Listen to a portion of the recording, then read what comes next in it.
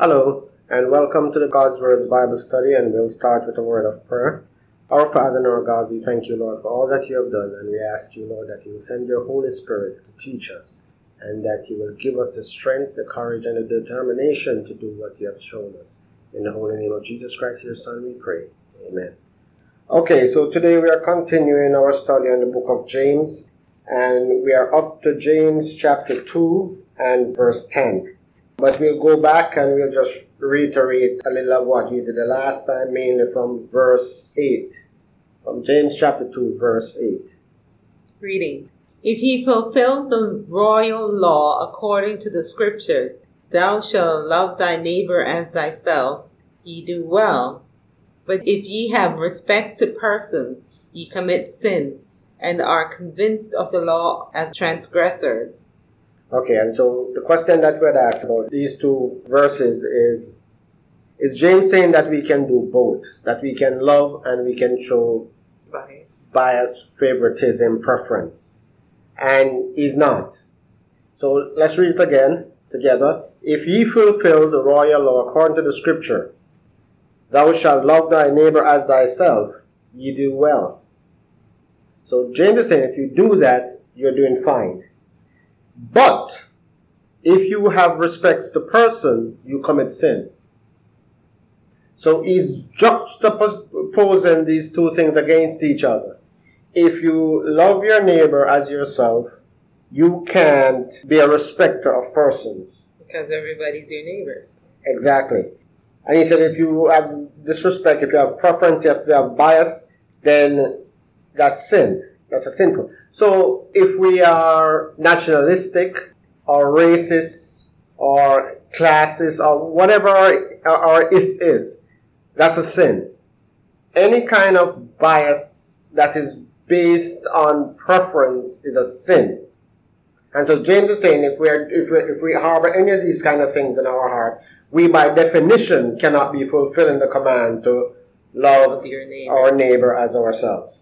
Okay? And he said, and if we do this, if we are respecters of persons, meaning that you prefer one person above another, then we are convinced of the law as transgressors. So we're sinners. Now, verse 10. For whosoever shall keep the whole law and yet offend in one point, he is guilty of all. For he that said, Do not commit adultery, also said, Do not kill. Now, if ye commit no adultery, yet if thou kill, thou art become a transgressor of the law. A couple of days ago, I was speaking with some guys in prison, and we were discussing, you know, starting a business and insurance and all of that. And so one of them mentioned that if you're a felon, then your insurance rate is higher because you're viewed as high risk. And I said to them, yes, that's the problem, is that the insurance company isn't looking at the type of crime you commit. They don't care. All they're looking for is felon. And once you're a felon, they treat you as a high risk person, even if you're not. Because once you have broken the law, you are a criminal. Okay, and this is exactly what James is saying. Once we have broken one commandment, we're guilty of all because we are lawbreakers. Okay, but the, for the Christian, for you and I, the problem isn't breaking the law. Because as Christians, we're only supposed to be living under one law. And it is actually the law that we just we just discussed, which is which is the law of love. And the, the law that we as Christians will mainly break if we're living true to God's direction is that when we know to do good and do it not, to us that is sin. That, that's the law that good, righteous, law abiding, God favoring Christians normally commit. Is that we know that we're supposed to do something and we come up with excuses. And we, some of the excuses do le- look legitimate, but we know that they're just excuses. You know, we might say, oh, the person didn't ask. That's a very common excuse that we have. The person didn't ask. But we know, because even though the person didn't ask, God did. And that's why God directed our awareness to know that the person was in need.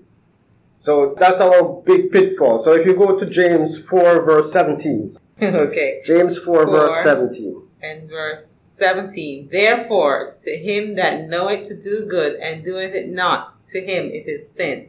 Okay, so and we, we'll deal with this verse in totality when we come to it, but I just want to mention that as Christian, you and I live in our life day to day under submission to God. This is a sin that normally trips us up. Okay? So let's be aware of that because if we resist doing the good that God has pointed out to us, that's sin. But for others of us who have been living the Christian life, if we can call it that, that our sin has been basically breaking the Ten Commandments. We're still stealing, we're still lying, we're still committing adultery, all of that. Well, we haven't been delivered because exactly. that's what Jesus delivered us from. All right. So if, if we're in that group, then we know that we need to go back, fall on our knees, and beg God to deliver us. And He will. We might just have to stay on our knees a little longer. God told us something that also applies to Him. He says we shouldn't throw our pearls before swine, lest they trample them and come and tear us to pieces.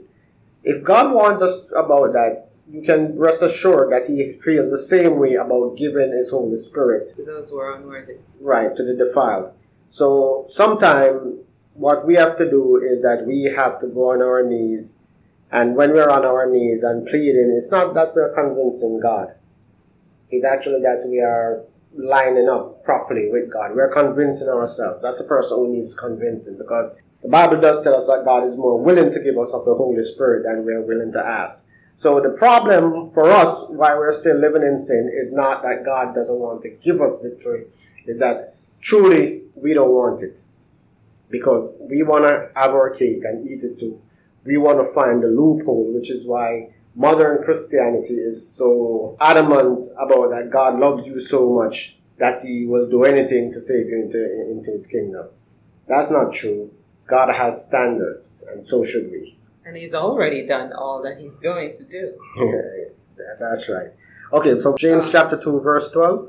You have a note here for First John 5, verse 15. First John 5 verse 15, and if we know that he hears us, that is that God hears us, whatsoever we ask, we know that we have the petition that we desire of him. If any man see his brother sin a sin which is not unto death, he shall ask, and he shall give him life for them that sin not unto death.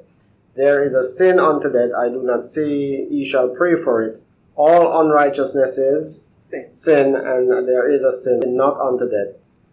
I had kind of decided to skip over that because I didn't want to go into explaining exactly what this portion of scripture is saying. But now that we have ruffled the feather, we have to smooth them back out, right? So First John chapter 5, 15 and 16 tells us that if we see our brother sin a sin, which is not unto death, we can pray for him and God will forgive him. This is something that when I first read it in the Bible, I thought it was a misprint because I had never heard anyone mention this in the church before. All I've heard from my entire Christian life is that the person who sin has to repent before they can be forgiven. That's not what this is saying. This is saying that if I see him sin a sin which is not unto death, I can pray for him and God will forgive, forgive him. All right, so that's the power that God has put into our hands as intercessors. And I guess that's why Jesus, while he was here, would say, Your sins be forgiven. That's a bit broad because when Jesus said that he was forgiven all, all the sins, including the ones unto death. So that's kind of outside. But uh, let me see if I can see an example from the Bible where, if you read through the letters of Paul, you'll always see Paul praying for the church and praying for their sins. But as I said, I didn't want to go through this, but we, we have to deal with it. Um, you have to just go read the read the book, see what First John chapter five, verse fifteen and sixteen says for yourself and understand that you have the power to pray for your brother when he's in a sin that is not unto death. I think perhaps one of the reasons why he chose it was in verse 17 where it says, All unrighteousness is sin. Yeah, but once you ruffle the feathers, you can't just walk away from it. So I see my brother steal something. I can pray for him and God will forgive him for stealing because stealing is not a sin unto death. But what do you mean um, by sin hold, hold, hold on there. One thing at a time. Now, once I pray for him and God forgives him, I still have a responsibility to both, to both him and to God. And what is that responsibility? To tell him of his sin. I have to still go to him and let him know where he is I still have to admonish him because the Bible tells me that if I suffer my brother to live in sin, then it's because I hate him. That's from Deuteronomy, I think. It's one of the five books of Moses. I have, that, it will be up on the screen. So, what is a sin unto death? A sin unto death is very simple. It's all the sins in the Bible for which God prescribed death. For example, adultery. The penalty for adultery was To be stoned. to be stoned to death. The penalty for murder. The penalty for blasphemy and for idolatry. Breaking the Sabbath. br- breaking the Sabbath. All those things are sins unto Death. death.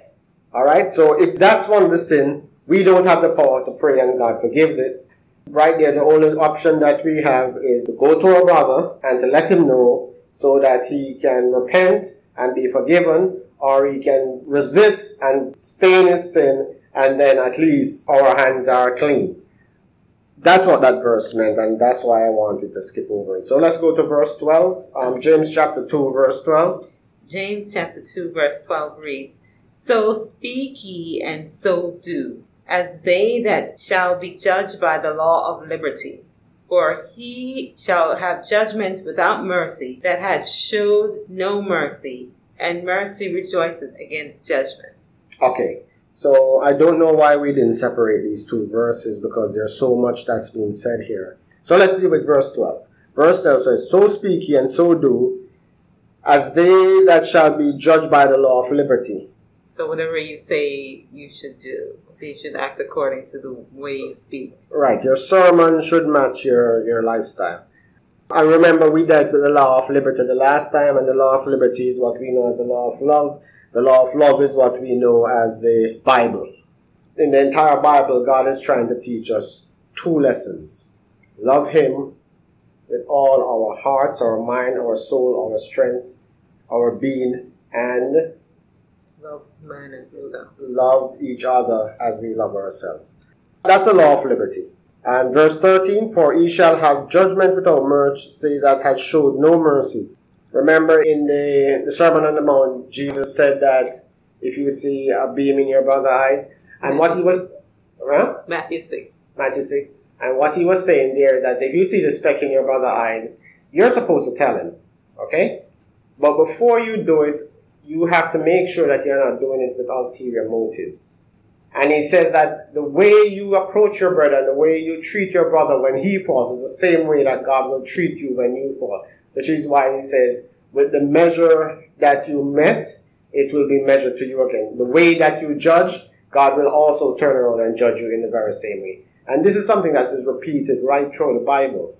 Remember David, when David sinned with Bathsheba and Nathan came to him, and Nathan told him the story, and David was so incensed, David jumped up and David shouted, That man will surely die. And what does the prophet tell him? That's you. You are the man.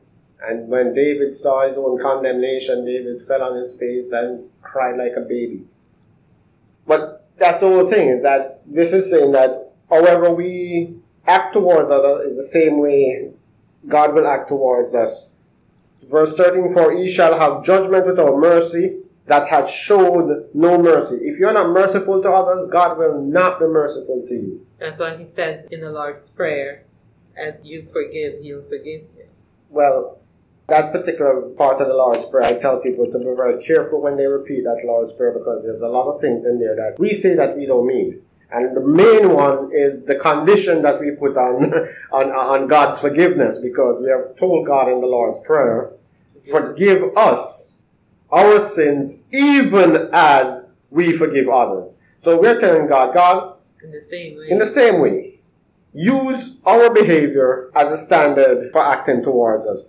And I tell people, be careful when you ask that. So, for example, when I teach that, I tell people you need to change those wording for now until you fall in line with what Christ had in mind first. Because once you become a Christian, then you can pray that prayer, yeah, you can, well, you can say, help me to. right? and so I tell them, you change it, you know, say, Lord, forgive me even as you would have me forgive others. You know, put it back on God, put it back on His standard. Remember when David was given three options for his sin? When he numbered Israel, God said you have three options. You can have a famine for three years, I think. You can flee from your enemy for three months or something like that, or you can have pestilence for three days.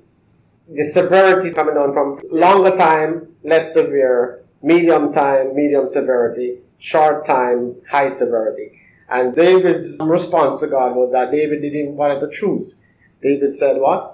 Let me fall into the hands of the Lord. Right, let me fall into the hands of, of, the Lord because the Lord is Merciful. merciful. Coming back to the mercy that we have here. I say here, the last part, and mercy rejoiceth against judgment, or mercy rejoice over judgment. So if we go to Micah, the 6 verse 8, it mm-hmm. says, What has God desire of you, O man, but to do justly, to love mercy, and to walk humbly with your God. God's standard for us is that we must do justly. Meaning, God is saying that your minimum standard in any situation that I put you in is for you to do what's right. That's do justly. But He said you should love mercy. And the difference between doing justly and loving mercy is that you do what you have to do, but what you love, you will seek out and you find occasions to do. And He's saying that if you love mercy more than you love justice, what you will do is that even when people offend you, you will find a way to show them mercy. Forgive them. Okay? Not not just not, but, but here- here's no mercy, bro. Mercy is not just forgiveness. Mercy is a lot more. Mercy in, includes forgiveness and restoration. hmm Okay? So that's what God wants from us. God wants us to love mercy so much that whenever we have a choice between justice, judgment, and mercy, we choose mercy because mercy rejoices over justice. So in, in that verse, he's saying that the way you act towards another should always be just. yeah. But the way you respond to how someone acts towards you should always be uh, with an attitude of mercy. So if, okay, you're hungry, I am to feed you. But when I'm hungry, you don't feed me. You just eat and you don't give me. I am supposed to, for, to forgive you, not hold it against you. But Okay. in in that context, but continue to to Okay. do what is right on on your behalf. All right, so let's deal with that.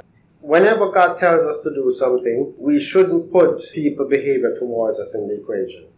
Because whenever we do that, we get ourselves in a gray But that's area. what mercy. You can't have Yeah. mercy Oh, without. hold, but hold, hold on, let me, let me. Remember, remember when it says that the husband ought to love his wife and the wife ought to respect her husband. Those are admonitions being given to the two spouses. Right. if the spouse then look not on what God had told them to do, but look what- on what God had told the other person to do, there's going to be problems in that house. Mm. Because you're always going to be judging your spouse, saying that they're not doing what God told them to do. You're not respecting me. Oh, you are, you are not loving me. But if we concentrate on what God has told us to do, which is for me to love my wife, then whether or my, not my wife is behaving or God told her to behave, I am too busy loving her. You, right. you get me? So the example that I gave still has to do with the one person. Okay, it's my action towards another and my response towards how somebody else acts towards me. So the responsibility in both situations is mine. Mine Right. to do justly and mine to give mercy. Right, right.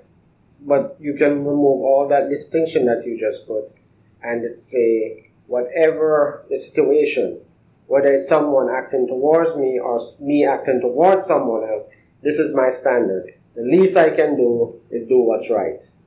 But what I want to do and what I love to do is be merciful and to go above and beyond just the bare minimum. I guess the, the distinction comes in that you could retaliate and still be just.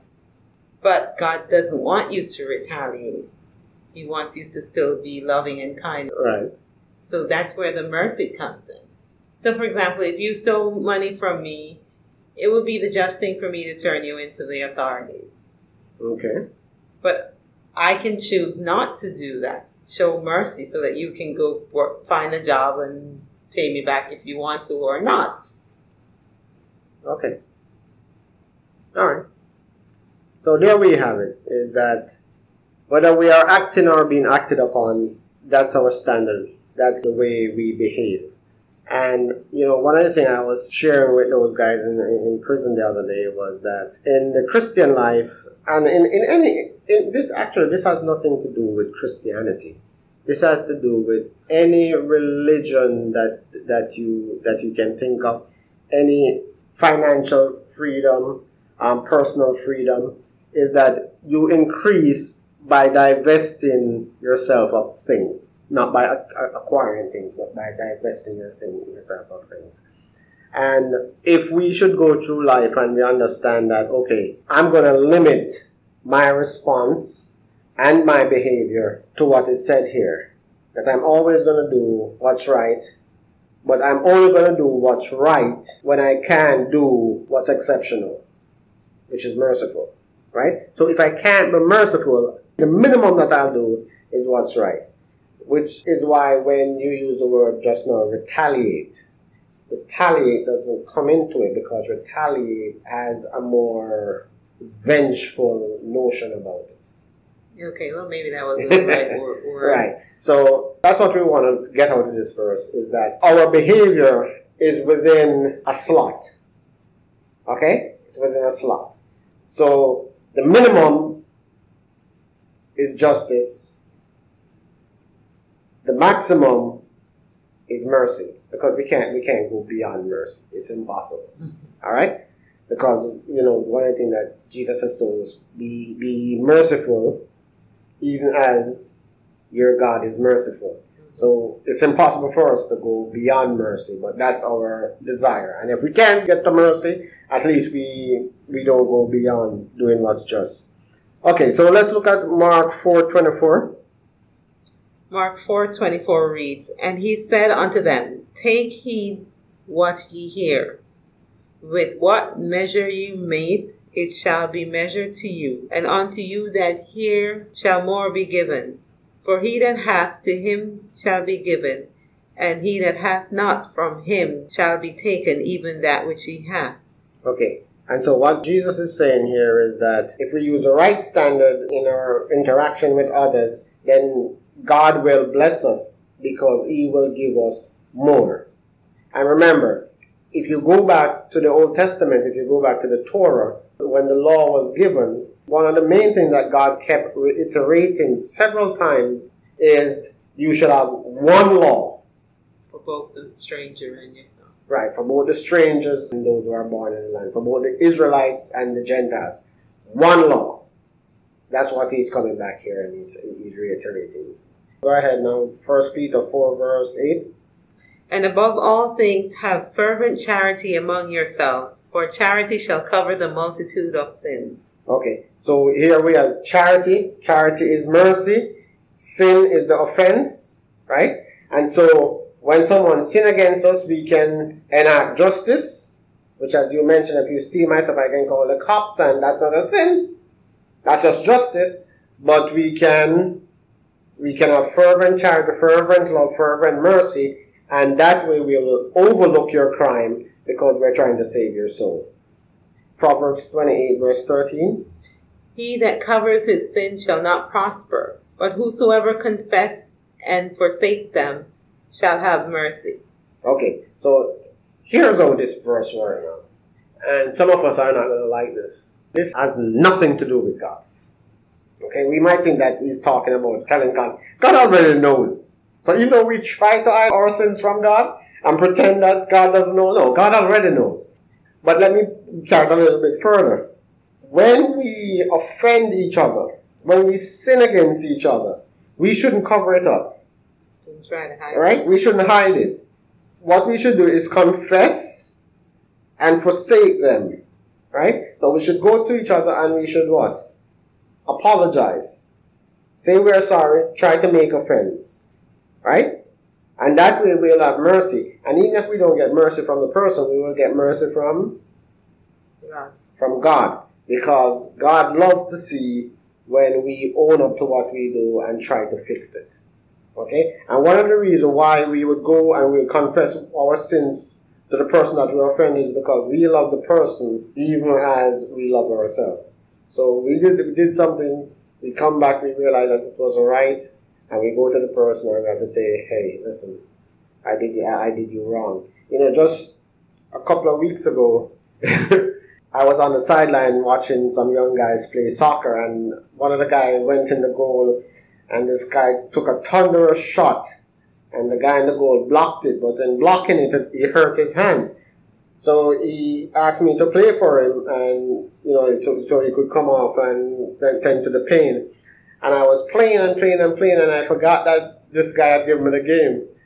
So the next week when I went back, I saw him. And I said, hey, by, by the way, I need to apologize to you. And he said, what for? I said, oh, remember the other day you gave me a game, um, and I acted like an ass that I should have given back your game. And he was like, what are you talking about? I said, remember the day when you hurt your hand? And he was like, oh, yeah, I remember. And I said, yeah, I, I should have given back your game as soon as your, your hand stopped hurting you. And he was like, oh, no, forget about it, forget about it. I didn't even remember. But guess what? I've gained a friend. And it's the same thing we know with, with each with each other as Christian in the church where we have to deal with each other constantly, week after week. We have to get this down as, as soon as we realize that we've offended each other, we should be Christian enough to apologize. Proverbs ten twelve. Hatred stirreth up strife, but love covereth all sins. Right. And again we see love doing what? Covering over the sin. And this is what love does. That covering means forgiving. Yeah, yeah, it doesn't mean hiding. It means. Now, here, here's how it goes. God says that whatever sin we hold, and He was talking to the church in a little different context, but it still applies somewhat to, to, to us as individuals. He said, whatever sin we remit on earth will be remitted in heaven. And this is what it means. If I sin against you and I come and I apologize and you forgive me, God automatically forgive me even if I didn't ask Him for, for forgiveness. You get that? Mm-hmm. Because God is certainly bigger than you. All right. So we're willing to forgive the iron. so James chapter two verse fourteen. What does it profit, my brethren, though a man say he has faith and have not works? Can faith save him? If a brother or sister be naked and destitute of daily food, and one of you say unto them, Depart in peace, and be warmed and filled. Notwithstanding, ye give them not those things which are needful to the body. What does it profit? So, the first thing we have to understand here is that James is not saying that we shouldn't share the gospel with a hungry person or that a person that is in need. It would be like double jeopardy for a person who is suffering in this life if we don't share the gospel with them because we can't bear their need. And then not only do they suffer in this life, but they suffer in the life to come because we thought that we had to fill their needs before we share the gospel. All right? So this is not saying that we shouldn't share the gospel to those who are suffering. You know, after all, when Peter and John were walking and they saw the man by the gate, beautiful, begging, what did they do? They didn't say, "Well, we have no money, so we can't help him." But he said, What, brother? Silver and gold have I none, but such as I have give I unto you. Rise up and walk.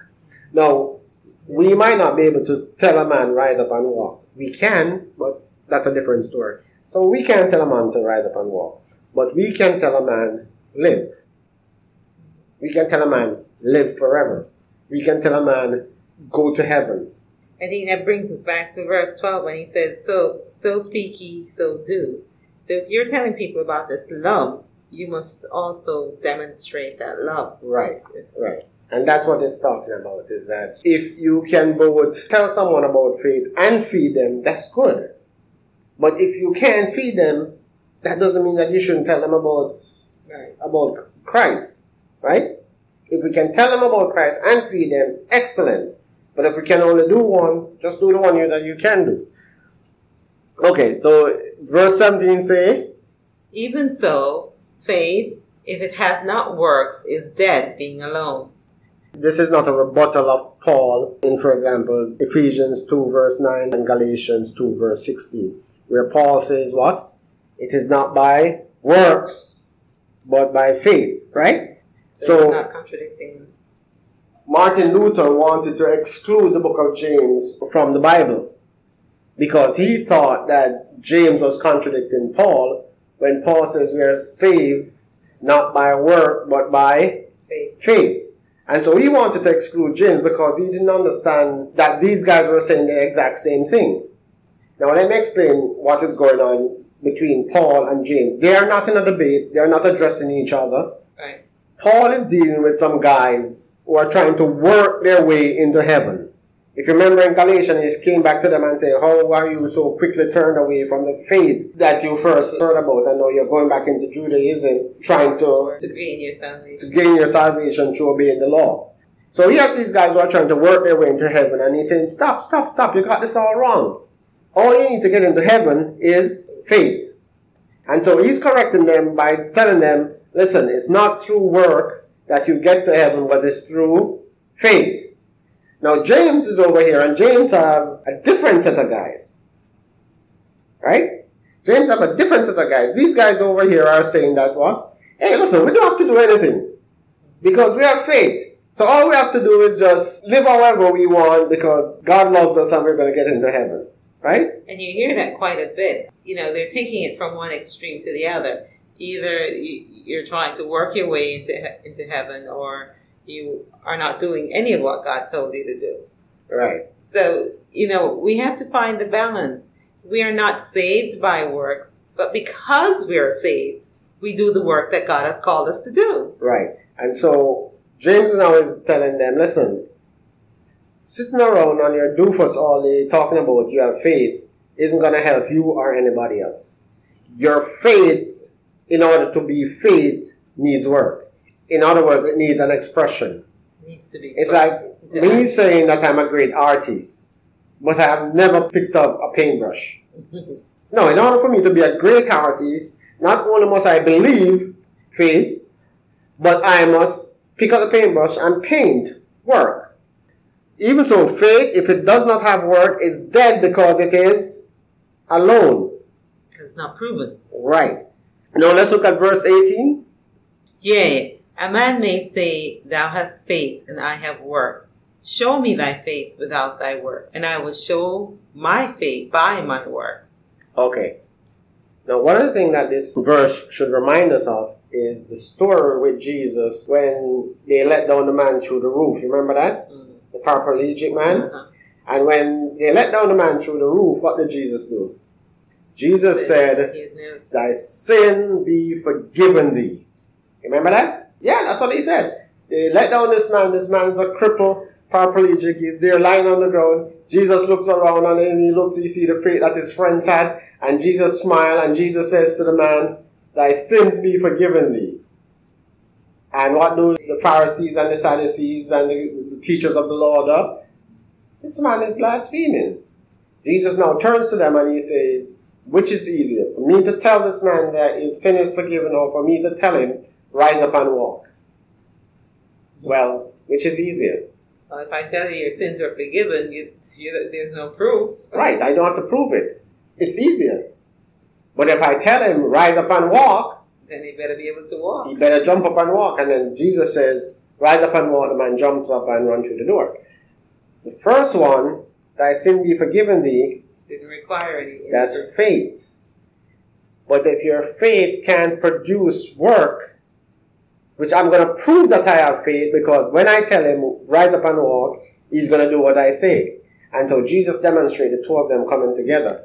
And that is what James is saying here now is that if you have faith, you will have work. Because we have been saved unto Works. good work.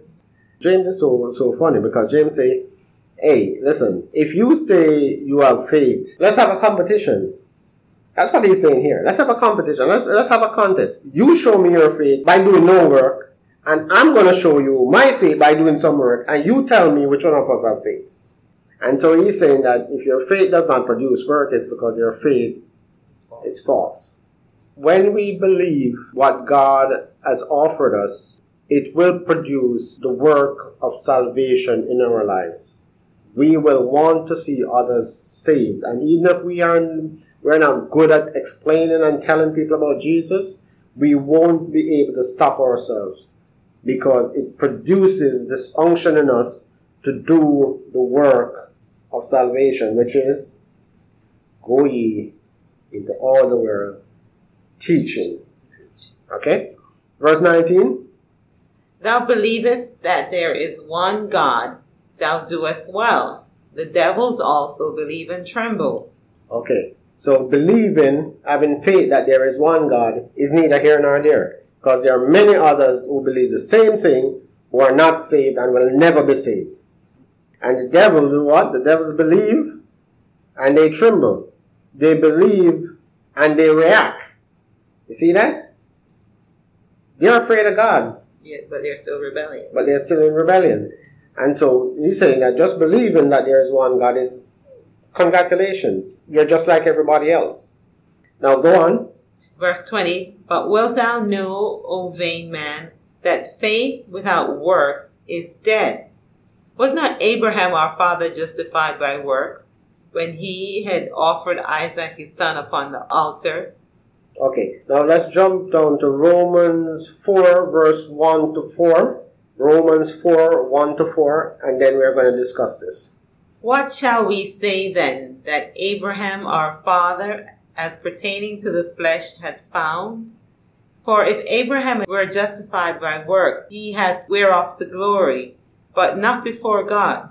For what saith the Scripture? Abraham believed God, and it was counted unto him for righteousness. Now to him that worketh is the reward not reckoned of grace, but of debt. So Paul is saying that the big thing is faith right here because Abraham believed God and it was counted to him for righteousness. James is saying that the faith that Abraham has produced work because Abraham offered Isaac. All right. This again is not is not an attack against each other. This is not in contradiction. Let me explain what both of them mean at a time when the Bible says that Abraham believed God and God counted for him for righteousness, what were they doing? What was Abraham and God doing at the time? God was calling out Abraham to, to become a people for him. Mm-mm. God was testing him, Mm-mm. having improved his faith. No, not yet. At the time when God, when the Bible says that, that Abraham believed God and was counted to him for righteousness is when God told him that he was going to have a son. Okay.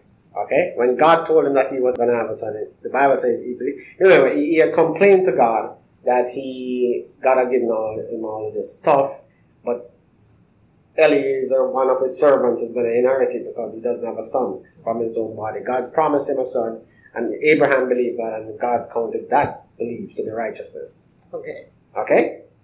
Now, so you, there was no work that's produced. There's no, there's no works. He just believed God that God is going to do what God said and he's going to have a son. Years pass and he has the son that God promised him, and then God came to him and said, "Offer your only son as a burnt sacrifice." But there was more to the promise than just Isaac. There was more to the promise because Isaac would produce a multitude of people. Okay. So he also believed about the multitude of people. Okay. Even though he believed God, when God commanded him to sacrifice Isaac, in our rational way of thinking, that would be sacrificing the multitude of people that was promised. So he had to be exercising faith to carry out what the command was. Okay, so what is the relationship between the two? There's two verses that we're dealing with, both of which says that this is how Abraham Right. So Abraham was faithful. Abraham, for example, was saved because he believed God okay. initially. And because he believed God initially, he was able to, to work, to do what God tells him to do based on his belief in what God had already told him. Right. Okay. So let's let's sum it up. God promised Abraham a son, and from this son there would be a nation, and that nation will inherit the land that God sent him into. That's the full scope of the promise, right? Okay. He now has this son, young man, and God comes to him and God says, Sacrifice the boy. And James here says, Was not Abram our father justified by works? And yes, he was. And this is how he was justified. Because God tested him with the same thing that he had the faith in. So God says, I promise you a son. And God didn't explain this to him. God just simply told him, sacrifice the boy. But God had promised him a son that would produce a nation that would inherit the land. God now comes and God says, sacrifice the boy. And Abraham, because he believed that God would give him a son, that would produce a nation that would inherit the land, Abraham went ahead to sacrifice the boy, even though sacrificing the boy seemingly jeopardized the promise. Because what Abraham was relying on was not just the promise, but God.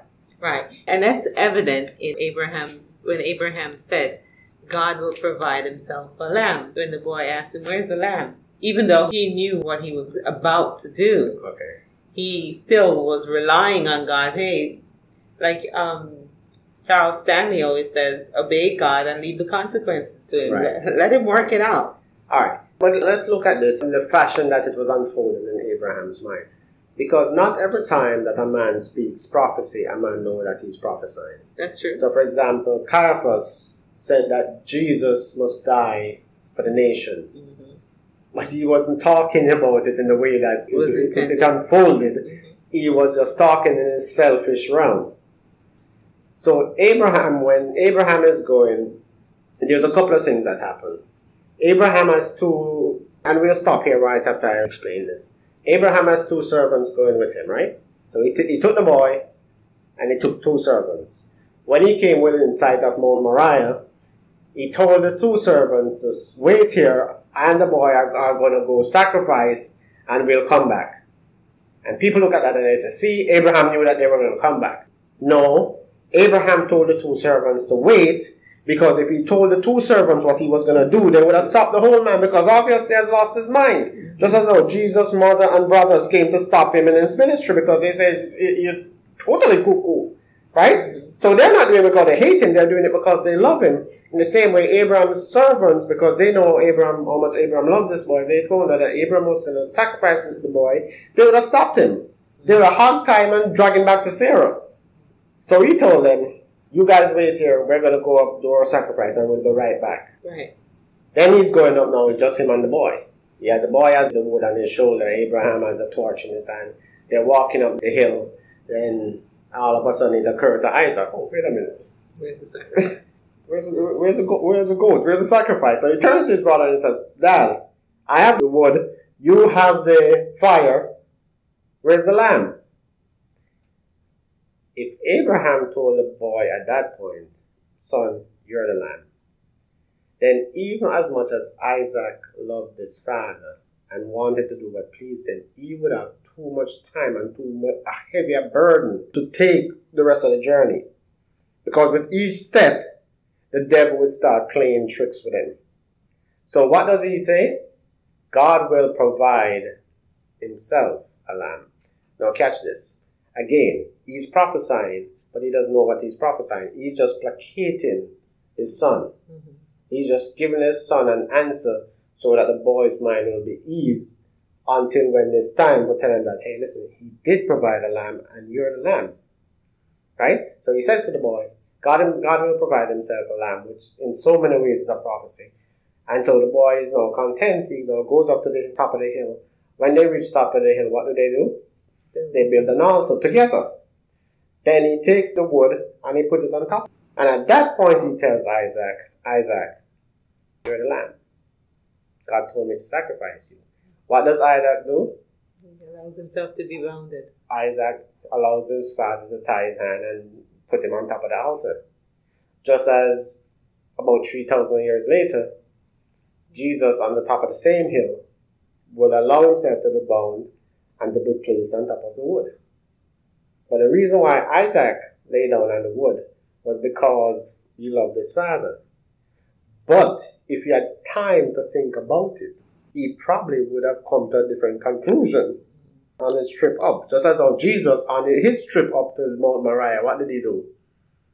He stopped and he begged his father three times not to do this. Now imagine if Isaac had turned to Abraham and start begging Abraham all the way up. Daddy, don't do this. Daddy, don't do this. Abraham might not have. He might not have done it. And so, okay, so we'll pick up at the study right here next time. We'll pick it up at verse 20 and we will finish up reiterating and finish up this act of Abraham that justified him. Because this was a necessary part, and this is something that God will do for each and every one of us. even though we have faith and we have accepted Jesus Christ and we are saved, God will test our resolve. May God bless and keep you. May make his face to shine upon you and be gracious unto you. Until we meet again, walk with God. Goodbye.